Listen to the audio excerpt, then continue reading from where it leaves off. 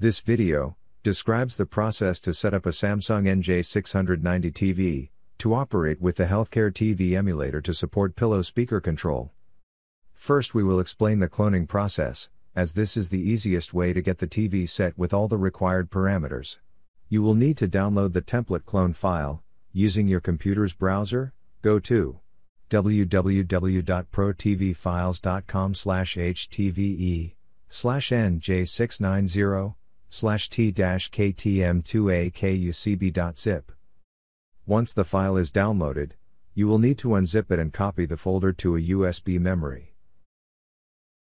Connect the USB memory on either of the two USB connections available. When a new TV is turned on for the first time, it will display the installation wizard. Using the remote control, press the select key to choose the region and language. For the TV installation type, choose factory menu.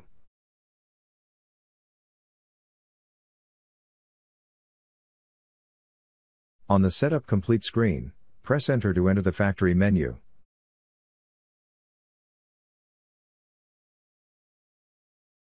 Move down to the cloning option on the menu.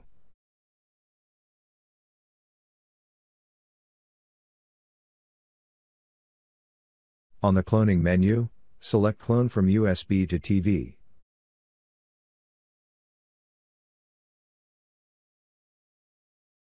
On the confirmation screen, accept to copy the USB data to the TV. After the cloning process, the TV will turn off. You may turn on the TV and add any additional setups, as required for the location, such as channel ring,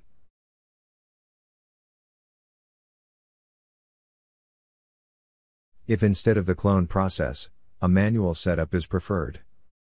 Then, on the installation wizard, proceed and select the TV installation type as factory menu.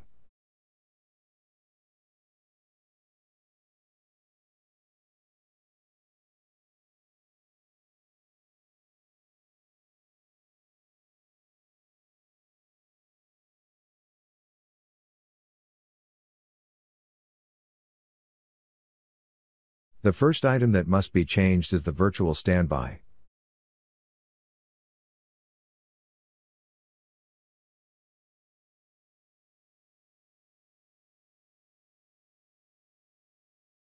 Select the virtual standby option and turn it on.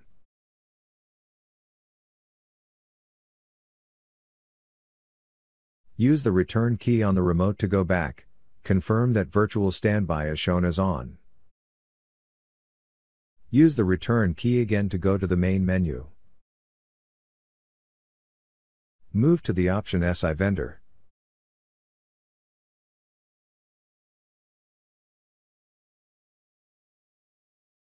Select SI vendor and change it to SSCP.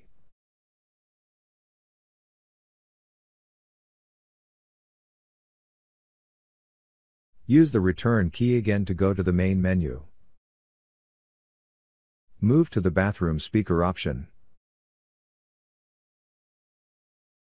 Select the bathroom speaker option and change the subamp volume to 4.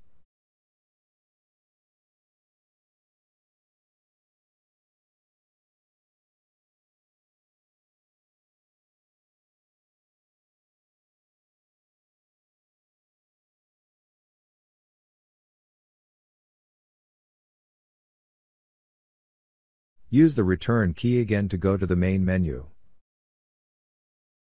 This concludes setting the items required to support the Healthcare TV emulator.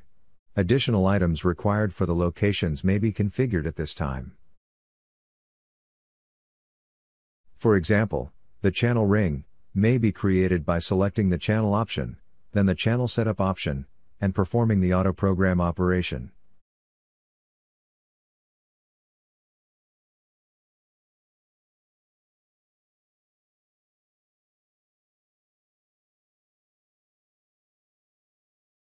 The starting channel during power on can be configured on the power on section.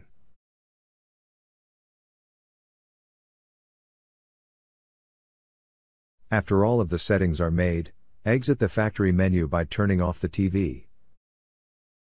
The last setup item required on the TV is turning off the internal speakers. Turn on the TV. Use the menu key on the remote control, and select the sound option. Change the sound output to audio out slash optical. Sound will now be heard only on the pillow speaker. Press the return key or the exit key to close the menu.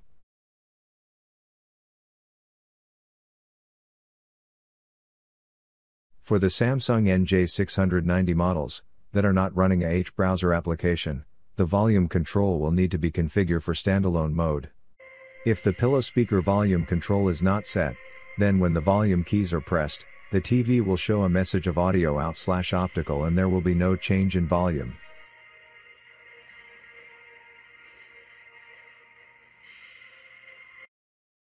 To set the pillow speaker volume control, you will need to toggle the power to the Healthcare TV emulator, and then within a period of 5 seconds, press the pillow speaker's zero key.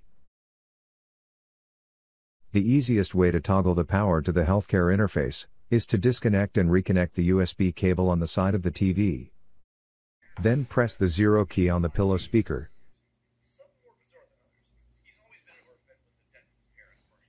After this, you will be able to use the volume keys to change the volume.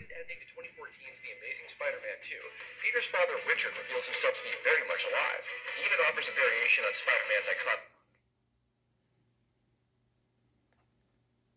The worst entry in the X-Men series, 2006's The Last Stand made a number of unpopular decisions, like killing off a bunch of beloved characters that took a franchise reboot to untangle.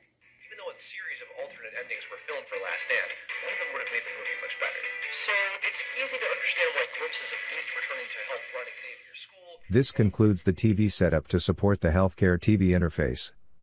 We recommend that at this stage, you create a clone file, so that new TVs can be easily configured.